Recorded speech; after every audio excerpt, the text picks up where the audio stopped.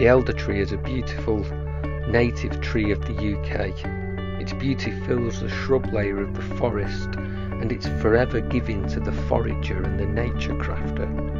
Its wood is very unique as it has a hollow centre, perfect for making a range of items. Today, we're going to show you how to make basic elder beads. So in order to make some elder beads, we're going to need a length of willow, some secateurs, a tent peg, some sellotape and some string. So we're going to take our length of elder and we're going to notice that on the elder we have these little knobbly sections and these are sections where the branches were growing from the main stem. It's really important that we don't include those in our beads. We're just going to cut that one off like that. Now you can choose the size of your beads. You can have a variety of sizes or all the same. And all you're going to do is just through, put them to one side. We're going to use six beads for this necklace.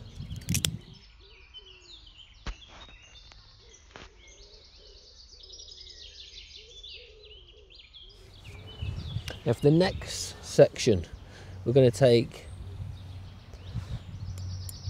a tent peg and we're going to take our bead. Now the aim is to remove this soft pith from the centre to leave a hollow centre in the bead. We're going to do that by just placing the tent peg on it and just pushing away, just like so. Do it a number of times to clean out and make it as a clear hole that goes all the way through.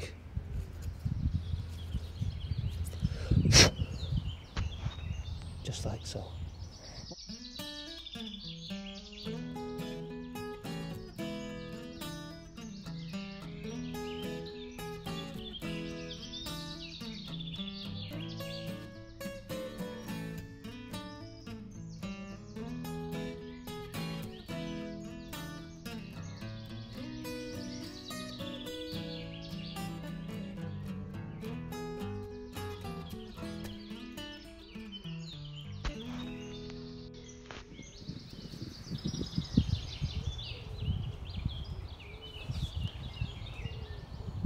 Perfect. We're then going to take our length of string and a little piece of sellotape and we're just going to wrap the sellotape around the end to make it easy for threading. We're then going to take about 50 centimetres and we're going to cut that using a knife or scissors. And I'm going to take the end that we sellotaped and we're going to thread through the bead like so. Now with the first bead we're going to tie an overhand knot around the bead. So I'm going to come right over left, underneath, pull, left over right, underneath, and pull. Just like that. Show you one more time.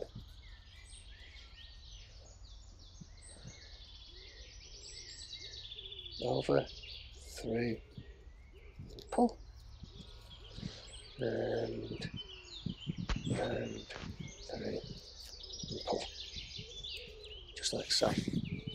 We're then going to continue to thread the remaining beads.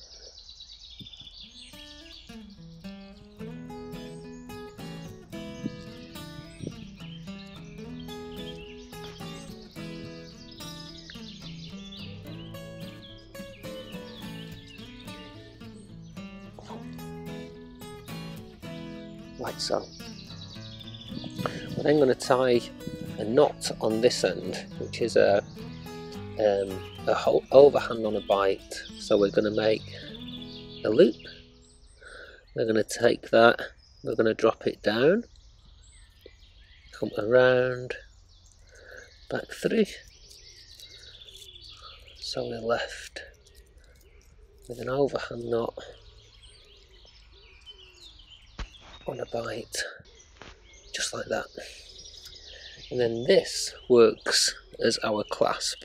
So that then goes through there and holds the necklace in place, just like so.